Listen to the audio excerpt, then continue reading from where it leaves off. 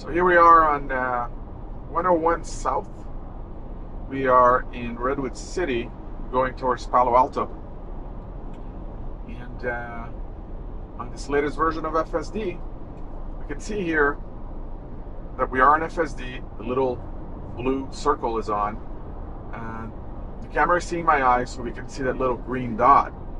And we can now see uh, which uh, of the profiles I chose within FSD and I'm in the Hurry profile, so it spells out Hurry, H-U-R-R-Y, uh, which is pretty cool. So uh, within the settings here, if I go to autopilot, uh, we can see that now there's a max speed offset, and it's set at plus, you know, minus 40%. Uh, so FSD is going to decide, you know, at what speed I should go on. Before, I could change the speed using the left scroll wheel, but now there's no need and I find that it uh, actually goes to that speed at faster speed much better than in the past. So I, I haven't found the need to use the to increase the speed or lower the speed. It's just working a lot better. Uh, so right now you know the, the speed limit is 65 uh, it quickly went across all of the lanes. Uh, but then there's another setting here under navigation whether you want to use HOV lanes or not, those are the high occupancy vehicle lanes or the diamond lanes that we can see here uh, on the left. Pretty expensive. You just saw the price there. Uh, you know, it's a dollar for one exit right now, three dollars for two exits here in the Bay Area. But it can be, you know, during commute hours in the morning or later in the afternoon. You know, I've seen it as high as like $15 just for one exit. Uh, it's a little bit nuts. So if I'm alone, I will typically have use HOV lanes off. Uh, but if I'm here with my wife or you know with our nieces or my mom, I may turn on HOV lanes. Now it seems that this car right here is uh, slow, so it actually went into the slower lane, but now went to 72 and actually passed that car. Uh, we're gonna get off the freeway in about four miles. So it's doing an amazing job. It's really driving uh, the way that I would drive uh, because I am a little bit more aggressive and I, I do drive a little bit faster than, than others. Um, and, you know, I don't want to stay at 60 when I can be going 70 or 74, uh, which many you know drivers here in the Bay Area will do. Uh, sometimes I'm driving 74. It's kind of my limit. You know, everybody has their limit. Mine is 74 in the 65 zone. And uh, sometimes, like if I'm on 580 going east, I will be in a slow lane going at 74, and everybody will be passing me going way faster. Um, so there you go. It passed that uh, slow uh, Honda that was slowing everybody down, and went and went to the uh, the faster lane, not going into the high occupancy vehicle lane, the HOV lane, uh, or the diamond lane. Now, because this is an electric vehicle from uh, 2024, you know, it's a Tesla Model Y uh, with hardware 4 from 2024. Um, here in the Bay Area, I actually get these red stickers. So um, I actually would get a discount, a 50% discount, even driving alone on these diamond lanes, the HOV lanes, but it's still pretty expensive.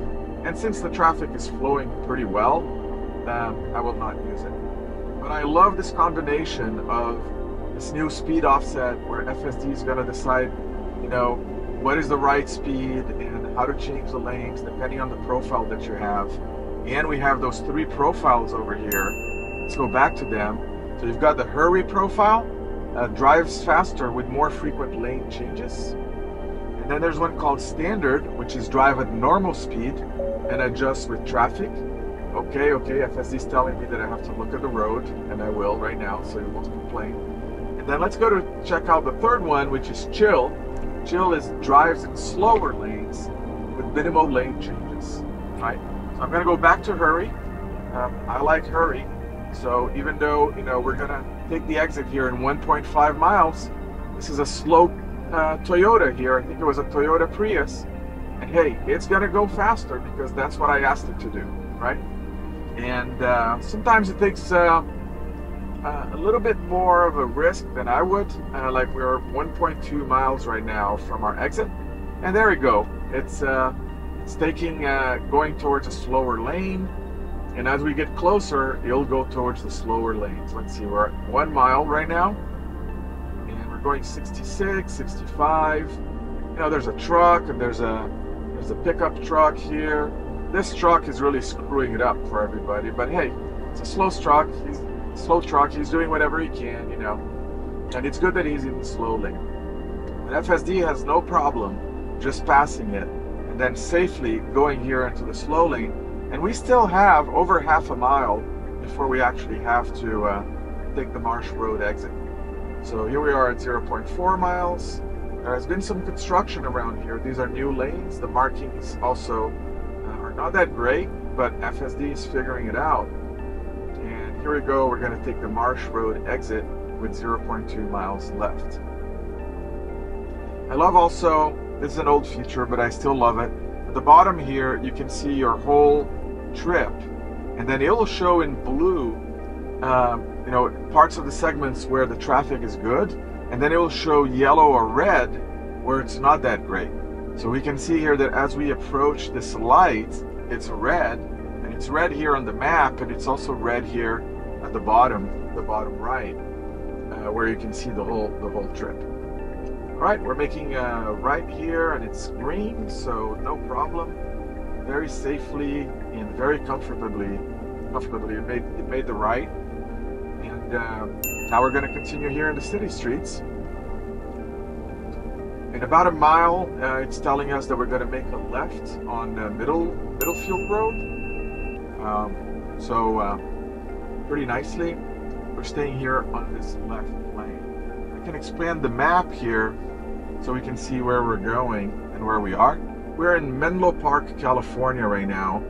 This is uh, another city that's part of the Silicon Valley. Uh, you know, Mountain View, Palo Alto, uh, some of these cities you may have heard, you know, from Apple or Google. Uh, Fremont, where Tesla is located, uh, it's a little bit more south in in the in the Bay Area. All of these cities are, uh, you know, especially here in the peninsula, these cities are part of the Silicon Valley, uh, where you're going to find a lot of the, the tech companies, uh, including Tesla, that is building this amazing technology, uh, Tesla full self driving. So a little bit of traffic here. Um, I love it how it renders the truck and it renders all of the other vehicles. And uh, let's move on. I'll expand here the visualization so we can continue seeing all of the cars. And I am paying attention to the road, sure. you saw it went a little bit blue there. It's because it's looking at my eyes. And uh, I'll continue paying attention to the road here so it doesn't complain.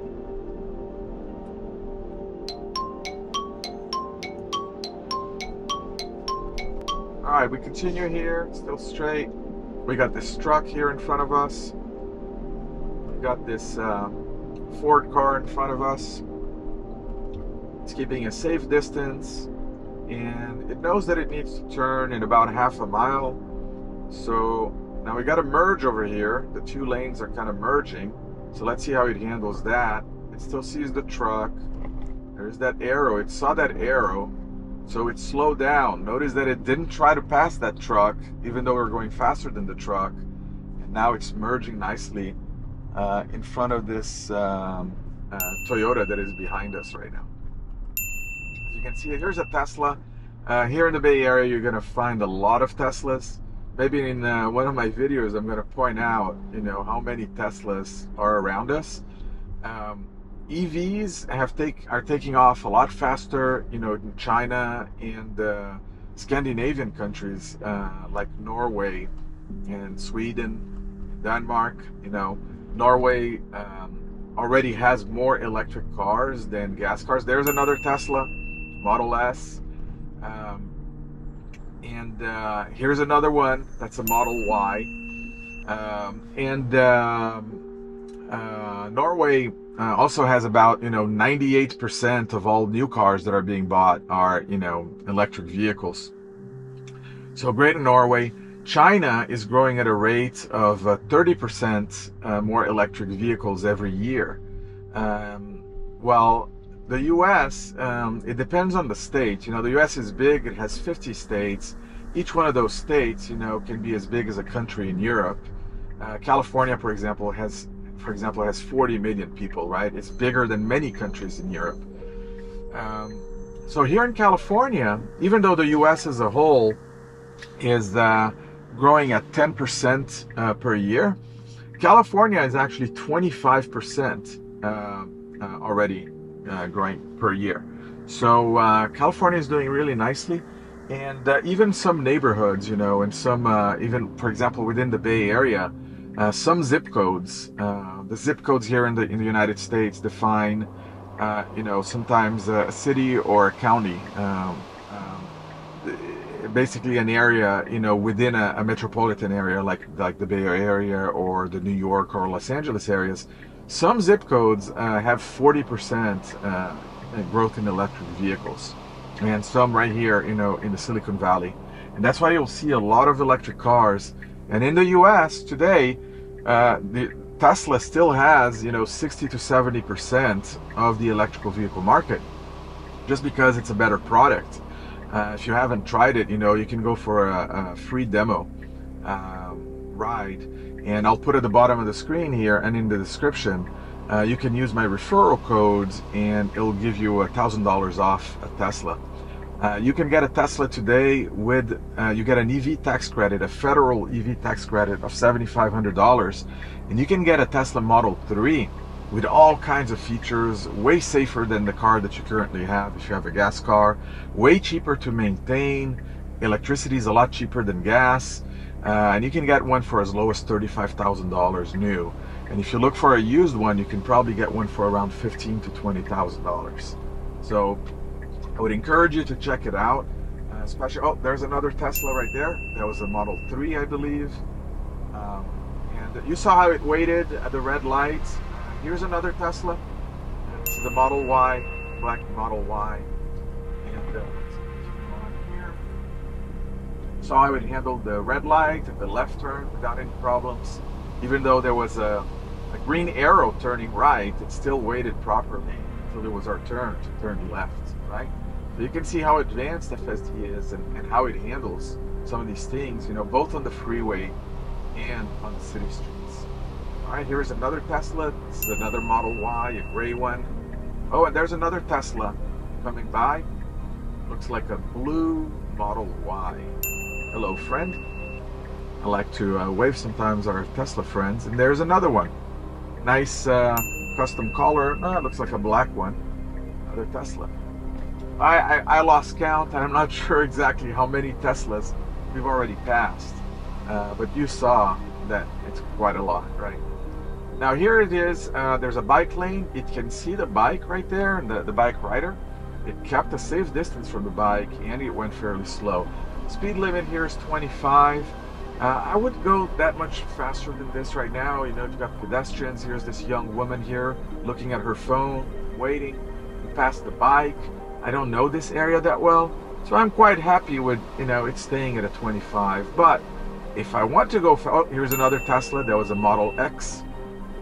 Um, and um, uh, if I wanted to go faster, it's as simple as me just pressing the accelerator a little bit and then it'll pick up. Here's another pedestrian. It sees the, the, the pedestrian walking, no problem. Um, there's somebody else sitting over there that helps with traffic. She has a stop sign over there. Here's a stop sign. But see, you don't want to go that fast anyways because you got these stop signs and you got to stop. Here's another Tesla, another Model 3. Um, uh, you're going to stop anyway, so you, you don't want to go super fast and then having to stop, you know, 50 yards later right? So might as well take it easy. Let this uh, amazing, uh, you know, uh, electronic chauffeur, Tesla Full Self Driving, just take you around, right? Tesla Full Self Driving today, by the way, is uh, uh, costs $99 per month uh, if you want to rent it. and you can get a free month right now. Tesla is running a promotion. You can get a free month to try it out. Uh, or you can buy it for $8,000. Oh, there's another Tesla passing by, a white one. Um, there's another Tesla over there parked. Uh, it looks like I can't quite see. I think it's a Model S. All right, we're gonna make a left here we're half a mile from our destination. Oh, and there's another Tesla in front of us, just making a left, another white one. And it is a Model S over there, a blue one. There's a Model uh, Model 3 over there also parked. So I, I think sometimes I see more Teslas than any than other all other cars combined, just within the same block, right? Uh, it's pretty amazing here. Uh, here's another one making a left turn over here. Uh, it looks like a Model Y. So I would encourage you wherever you are, you know, US, Europe, China, try it out. Oh, um, and uh, go to Tesla.com. There's another, two other Teslas right there, a white one and a blue one. I think it was a Model X and a Model 3. And uh, there's a reason why these Tesla cars are so um, so popular. You know, they're cheaper, they're faster, they're safer, uh, they're a lot cheaper to maintain. They have a lot more features than these old gas and diesel cars, uh, and they don't pollute. Uh, they don't. They don't. They don't have emissions. You know, for those that say that they pollute just as much as a as a gas car. Uh, first of all, oh, here's another Tesla right here, uh, Model Y. Many studies have proven that that's false. Uh, and in addition, how about this? If you have a gas or diesel car, then go to your garage, put the car in the garage, turn it on, and then fall asleep in your car. And I'll do the same thing in my garage with my uh, electric Tesla. Uh, and then we'll see who is alive the next morning. All right, I've arrived at my destination. Uh, I'm gonna let it go here. Uh, this version of FSD uh, can park sometimes by itself uh, when it has um, you know certain parking spots that are more at an angle. I think these parking spots that are at a 90 degree angle, it won't quite park. Um, I'm gonna go around here and just um, let it go and see if it can find a spot and then I'll park myself. But even when parking myself, I'm to put the blinker on right now and then I'm just gonna tap on the parking spot here and I'm gonna press start and then uh, uh, I'm not doing anything. As you can see I moved my legs again. You can see the two accelerator pedals at the bottom there and it's just gonna park itself without me doing anything uh, we are due for an update uh, in October oh there's another Tesla a Model X and there's another one right there it's a Model Y right in front of us so there we go. It parked for us and it parked really nicely. You can see how well we are. Oh, and there's another Tesla just leaving. Another Model Y. Uh, another friend Model Y. Bye-bye, friend Tesla. And uh, thank you for watching. And test out uh, today. If you already have a Tesla, try out FSD. If you don't have a Tesla, go to Tesla.com. Use my referral code. You can get a $1,000 off a new Tesla. You can get one here in the US for as low as $35,000 new and as low as $15 to $20,000 used. So uh, check it out. Uh, you'll love it. All right, I'll see you on the next video. Bye-bye. Hey everyone, my name is Emmanuel Huna and uh, I worked seven years at Tesla here in California and uh, now I make videos about Tesla Tech and Tesla Full Self-Driving. I believe full, Tesla Full Self Driving will save lives and I need your help to get the word out.